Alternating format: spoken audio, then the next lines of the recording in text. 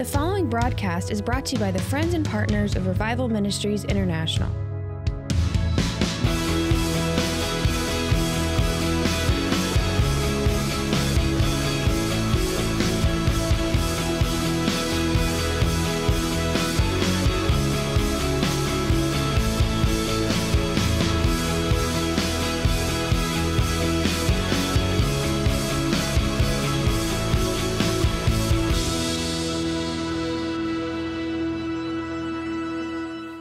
How many know that these, this is the remaining days of the fifth month of what we call the heaps?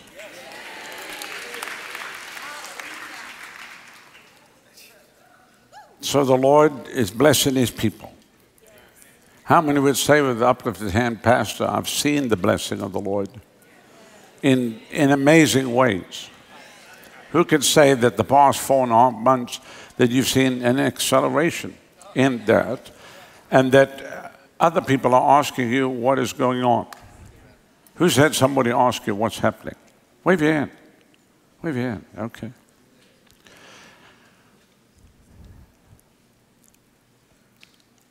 As you know, we've taught you every time before we receive the offering to not just throw something in the bucket, but to mix your faith with the Word of God. And I want us to go, I'm going to read it from the Passion Translation today, just for fun, to Ephesians chapter 3. Paul writing to the church at Ephesus. And he says here, So I kneel humbly in awe before the Father of our Lord Jesus the Messiah, the perfect Father. Everybody say, perfect Father now, the moment you mention father to some people, the connotations of a father is bad because they didn't have a good father. But I want you to know that he is a good, good, good father. The perfect father of every father and child in heaven and on earth. And then he says, I pray, which I encourage you to take this prayer and pray it over yourself as much as you can. There are many other prayers that you can pray Ephesians 1, Ephesians 3. He said, And I pray that He would unveil within you the unlimited riches of His glory. Everybody say unlimited. unlimited. How many know that God is not short on supply?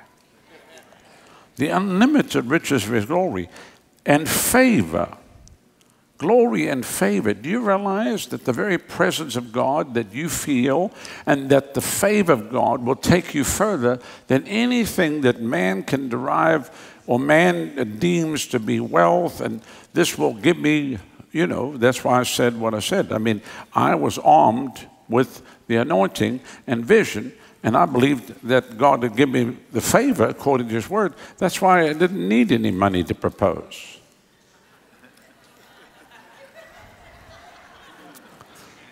Plus, I wanted to see if she was going to join me in faith. Or if she had said, No, I can't get married to you because you have nothing.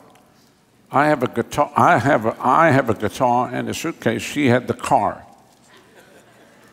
And I was checking to see what she would say. So it was actually a test.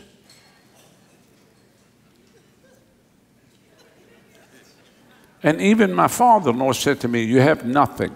He said, Go out and make a success of your life and then come back and get my daughter. I said, Absolutely not. I said, She will start with me on the ground floor now. Because if I leave here without her, I'll never come back. And then, of course, what's he going to do? He can't do, he can't do anything because I already won the heart of his precious daughter. Amen. And there comes a time when the young lady has to leave. And the Bible even says, Therefore shall a man leave his father and mother and cleave to his wife. And I was going to cleave. and no one was going to stop the cleaving.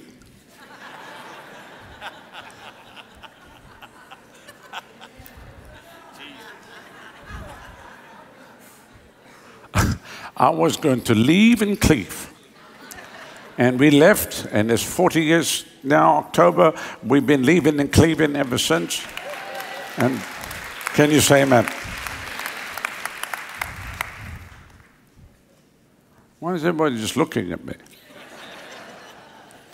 So everybody say unlimited riches of his glory and favor.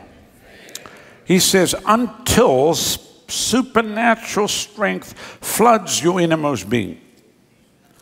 You know, somebody say, Well, I haven't had that happen. Then you need to pray this till supernatural strength floods your being. Because without supernatural strength, you will not make it in the days to come. You're not going to make it. This past week, Thursday night, we had a pastor here. Pastor Moses Cow, he's a guest of Dr. Morocco, who preached Tuesday, Wednesday, Thursday. He's from Vietnam.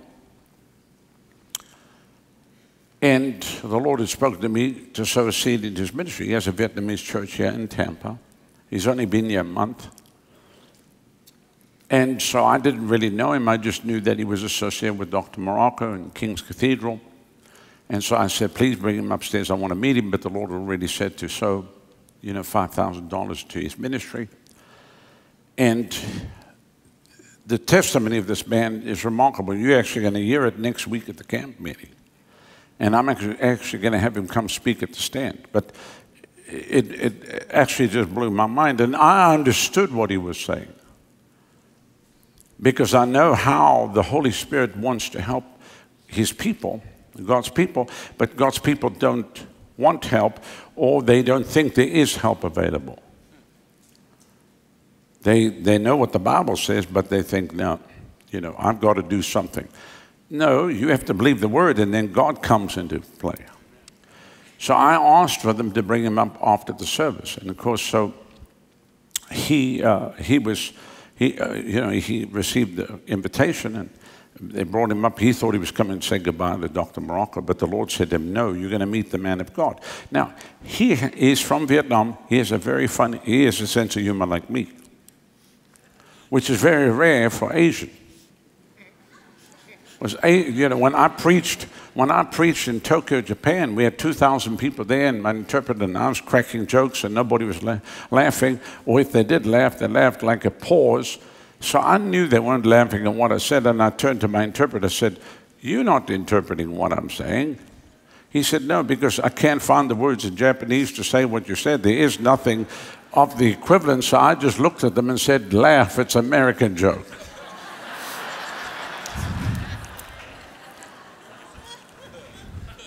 So then I realized that I had to change the way I communicated because some things don't translate into the language. And so the, the conversion of this man is remarkable, which you'll get next week. And then he told me the story. Well, when he told me, I began to weep in my office because the same fire that came in my room just over a year ago in March came right in the room. He felt it, I felt it. And I knew what he was saying was the truth. Because it says here, until his supernatural strength floods your innermost being, which many people, even in the ministry, have never experienced that. They know it up here. They know all the theory about everything. They can articulate, they can preach, but they have no experience of the reality of the power of God. And that's why we tell all of you, you have to have an encounter with God. That's why this fire conference is so important. Somebody said, but I already know all the scripture and I know what you're going to preach on. Yeah, but you haven't got it yet. So you've got to get under the spout where the glory comes out. And even some that have got it yet, you let it die down. And now instead of you burning brightly, you've got like some embers. The fire of God is not going to kill you, it'll purify you. It'll never kill you. Never, we've never had anybody die from the fire of God. Never. He had a radical conversion, just like the Apostle Paul, which you'll get to hear about. And then he began to smuggle Bibles into China and all the different countries around Cambodia, Laos, Vietnam. And there's a penalty in China one Bible, three years in prison. And he said, So, Pastor, I got arrested. I was thrown in prison, you know, and they tortured me. He said, Except when they tortured me, I never felt a thing. He said, They hung me upside down. They poured water on me. They electrocuted me. And when they electrocuted me, when the shock went through me, I felt the power of God. And he said, I started to laugh uncontrollably. And he said they kept checking the equipment because they couldn't understand why is he laughing. And they turned up everything and they kept shocking him. And the more they shocked him, he said, the more I felt the power of God. And I laughed and I laughed. And I laughed. So he said, then they tested it on themselves and they nearly killed themselves because the voltage was so high. They tried everything, and he just laughed. So they came at night to his cell, uh, like early as the morning, and they brought, the guy brings this AK 47, and he kneels down. He says, Man of God, I give you my gun. He, he broke his weapon and gave him, in a prison cell, you hand your weapon to your prisoner and gave his life to Jesus. And he said, Look, I don't want your gun, but give me the stock because he said, Lord, if you give me a piece of wood, I'm going to make an instrument that I'm going to worship you with. And he actually built a ukulele, which he didn't even know what he's building, and he plays it in worship. So it's crazy. It's a crazy story from the AK 47 stock. So, anyway, he said, Look, I finally did get arrested. It was bad because if it's three years for one Bible, he said, I had three truckloads. three trucks of Bibles. So they would have to put him away for thousands of years. So they just decided that they're going, they're going to, he's going to get the death penalty. But he was in prison and whatever. And so they come to him at three in the morning. They take him out, five people, the captain and four of his uh, henchmen. They were not wearing uh, name, number, whatever, because in Chinese culture, if the person you kill sees who kills them and knows their name, they can come back and kill you in the afterlife. You know, it's a whole big thing, like a whole big you know, superstition. So he says, they blindfold me. So I'm standing there now, blindfolded. They're going to execute me. They're going to kill me at 3.30 in the morning so nobody can see me. So I'm standing there, and I'm blindfolded. And they said, okay, take it off. Take off his blindfold. He's handcuffed from behind his back's back, and he's standing there. And they said, any last wish? Now, he has a sense of humor. So the guy got a cigarette, wants to give me a cigarette. He said, what? You don't have a cigar? you know? And so he's standing there and he said, They said, You must have a last wish. Switch it off. That's my wish.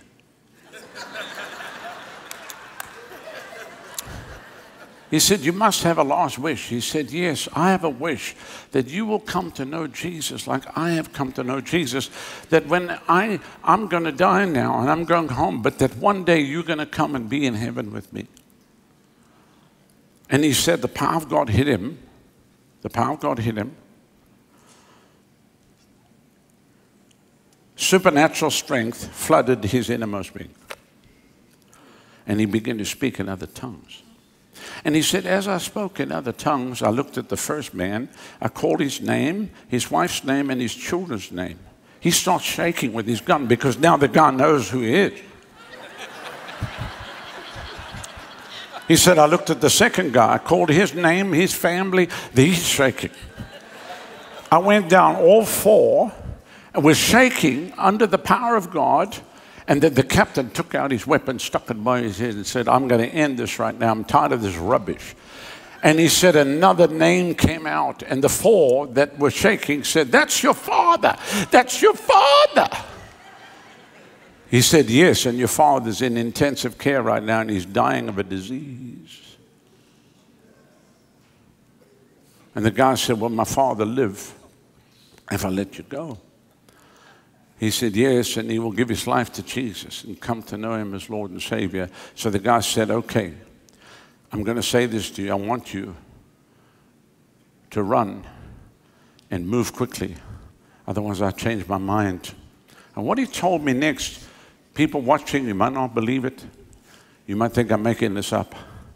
But X Men have no, there's nothing to compare. How many know that Elijah outran a chariot of horses 20 miles to Jezreel? Okay. And when he told this to me, I just began to weep because this, as he told me, the same fire that came in my room, I felt it. He felt it in my office at 11:30 at night. He felt it. I felt it, and I knew that what he was telling me was the truth. He said, Pastor, I sprinted and I ran as fast as I could do, and I was praying in other tongues. He said, I fell asleep. I fell asleep. And I went to sleep and I dreamed I was running. He said, I ran over mountains. I ran across rivers on the top of the water. I ran. I ran the whole night in my sleep. When I woke up, I found myself at a train station in Guangzhou, 600 miles away.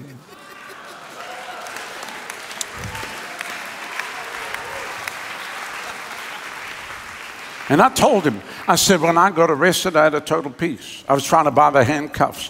When they put me in the prison, I went to sleep. Listen, let me tell you, you think this stuff is not real, and you think this is just available for people that are captured in China or whatever. This is available for the American church. You can either live according to somebody that has no understanding of the power of the Holy Spirit, or you can come and you can receive the fire and you can receive the anointing. And that's what this next week is going to be. It's going to be eight days of fire that God's going to sustain you. That if you get yourself into a problem, the Holy Spirit will flood you and God will bring you through the other side. He said, I wake up on a bench in the train station with a whole family around me, and I'm just still speaking tongues. I can't speak in Mandarin because he speaks Mandarin. He said, I can't speak in Mandarin. I'm speaking tongues. They're all crying. They buy me a ticket to Hong Kong. And he said, I went to Hong Kong. And he said, the rest is history. Everything that he does, there's a major thing that just happened Friday that's going to happen next Saturday, right here in the city of Tampa, in the Vietnamese community that God just opened for him, which I don't want to say anything because I'm not going to preempt anything that the Lord is doing. And I told him, we're going to help you pack your church with Vietnamese people. And, and, and then I started talking about, I said, do you realize, now this is where it gets crazy. I said, do you realize, Pastor, that you and me could be talking like this? It was 8 o'clock last night. We were on the phone. And I said, by the way, that 5000 I gave you, that's not for the ministry. That's for you and your wife. He said, well, we're going to put a deposit down on a Sienna. I said, no, you're not. I'm buying, we're going to buy you a Sienna next week. Want to buy you want to buy you a seven passenger van. Somebody said, Why? Any man that can run 600 miles overnight deserves a vehicle.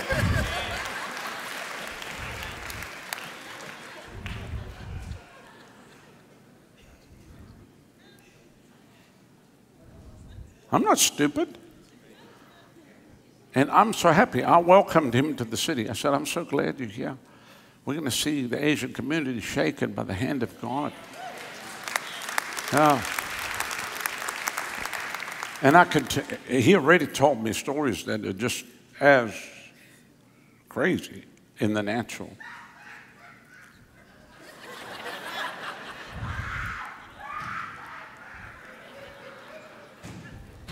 They're okay. They're okay. Yeah. I understand. I understand. I feel like that myself sometimes.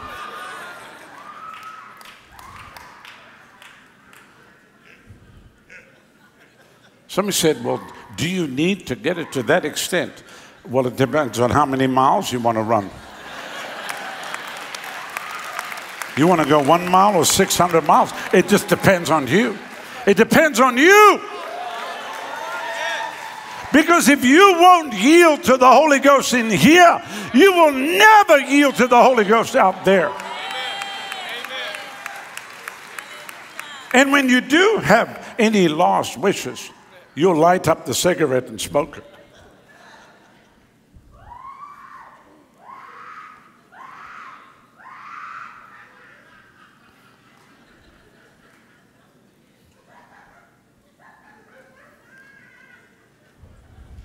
Somebody said, What happened? People get flooded.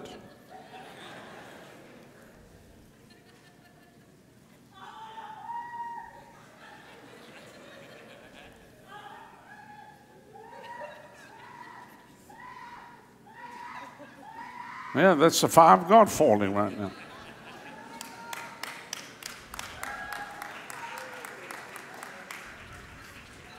So all of these people think they know what the Word of God says.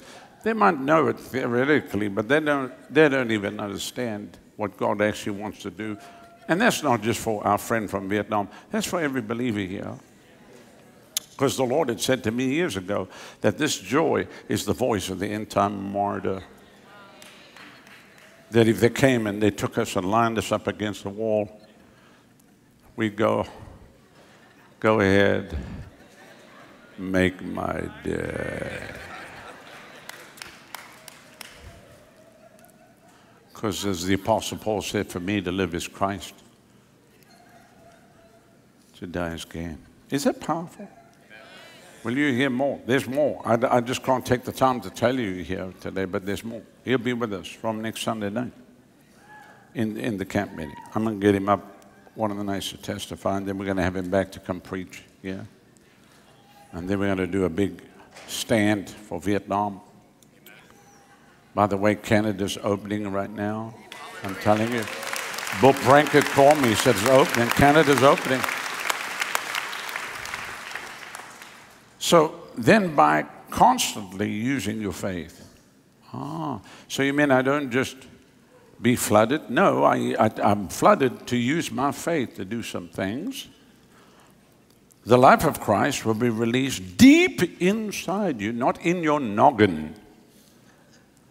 Somebody say, I got the life of Christ in my head. We need it in your spirit. And the resting place of His love will become the very source and root of your life. Is that good? Evangelist Merlin, is that good? Is that good? Huh? Is this better than any restaurant food right now? Huh? Is this good? Then you will be empowered. Everybody say empowered.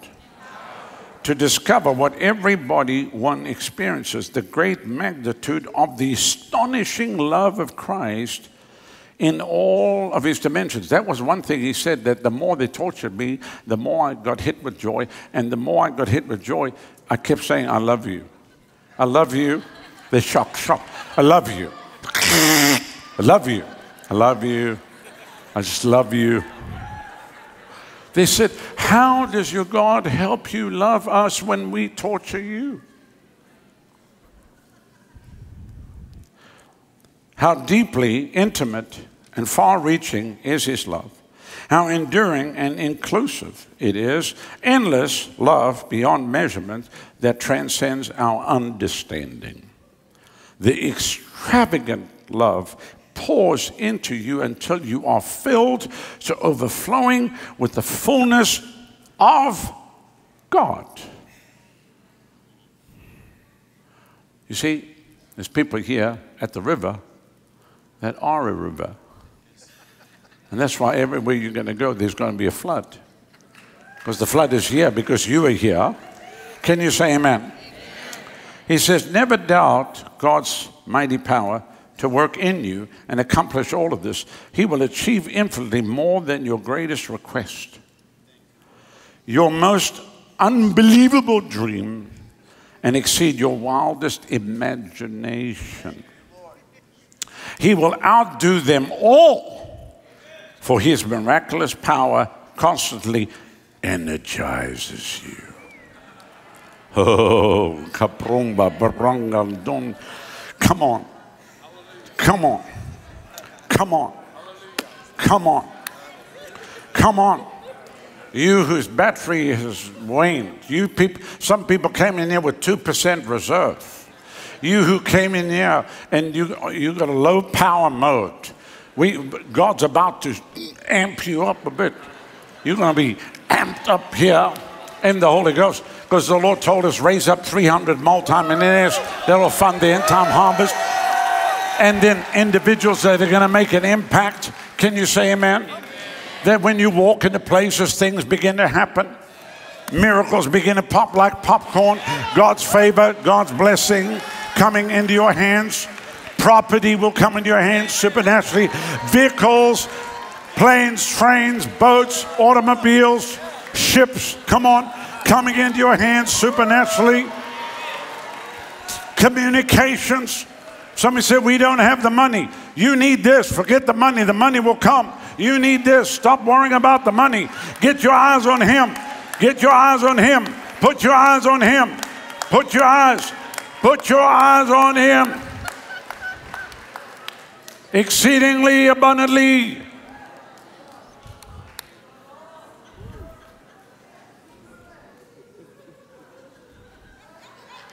I got married with no money. I had no money to propose. We bought this property with no money. Everything we do, many times. But we have a word from God. And when you have a word from God, the money will come, the provision will come. It's like, it's like there's automatic doors when you walk up to the door and then the doors open. But you have to get there. You can't sit on your recliner rocker clicking a remote. Let me watch, I'm watching online.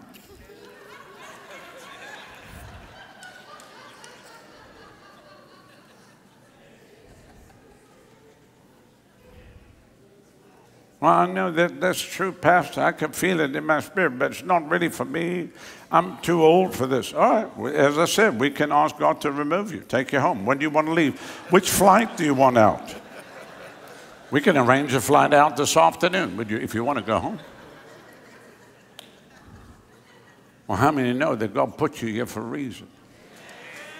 Somebody says, Yeah, but the devil attacked me. Well, it doesn't really matter, does it? He attacks everybody. You're not the only person being attacked. But let me tell you, we're going to make the devil pay for what he did to you, what he did to your family.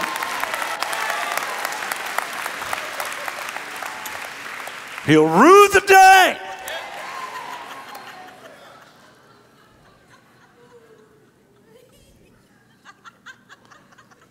Now, the reason I know what he said was true is because I tell that story from Singapore.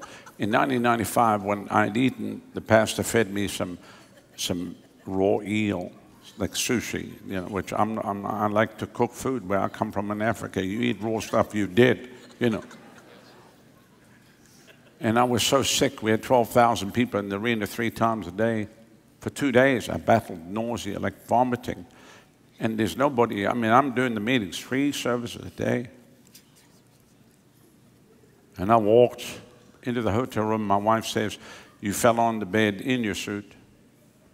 And I said, Oh, God, help. And I woke up at 7.30 in the morning. I was totally fine. And my wife says, you never slept. I said, no, I slept. I had a great night. I feel refreshed. Everything's gone. She said, no, you prayed in tongues the whole night. So he prayed in tongues and ran 600 miles. I prayed in tongues, got healed. I totally, I totally understand that. Totally, totally understand that. Because I always said oh, off that if you want to pray through me any night, you can take over, do whatever you want to. Don't underestimate the power of God and don't allow religious people to talk you out of what God has given to you as His children. So let me wrap this up uh, and then we receive the morning tithes and offerings, that this week is going to be a week of the supernatural. As we told you, what, what this man walked, has walked in, that's Book of Acts stuff. And I said to him, I was saying this earlier, at 8 o'clock, in the evening, I said, Do you realize that you and me could be on a phone call like this? And suddenly we find ourselves in, in Phnom Penh or Cambodia and, and we preach and then we're back for our church service and, and nobody will even know that we went anywhere. But the people will see us. Somebody said, I don't believe that. That's fine. It's not for you. You fly Spirit Airlines. I fly Spirit Airlines. Somebody said, Will that happen? I don't know. I'm just telling you what God's about to do in this final hour will supersede anything you can ever even begin to imagine. And I know there's people out there, Howard-Browne thinks that he'll be translated supernatural. No, I just read what the word says. So I did joke with him. I said, Pastor, as long as we dress properly, because it'd be terrible if we end up somewhere and we didn't bring the right clothes. You know what I'm saying? So he was laughing, I was laughing, but.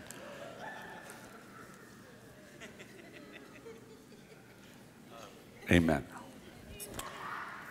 So let's believe God for great miracles this week. Who's, who needs to see some supernatural things this week? Wave your hand at me. Amen. Try to throw your hand up with a little bit more excitement. Okay. Then let's pray right now. Let's pray right now. Let's believe God together. Father, thank you for your precious people. Thank you for increase and multiplication on every side. Let this be a week of supernatural provision. Monday, miracles, Tuesday, miracles, Wednesday, miracles, Thursday, miracles, Friday, Saturday, Lord. Move mountains out of the way. Things that were supposed to break, let them break. Any hindrance of the enemy is moved out of the way. Thank you for your favor and your abundant blessing. And we promise you, as you bless us, we will never forget you and we honor you and we lift you up. And we will always tell people it is you. It is you. It is you. It is you. In Jesus' name. Amen. Thank you for watching today on YouTube. Please press the subscribe button and also the notification button and like and get the word out so others can watch.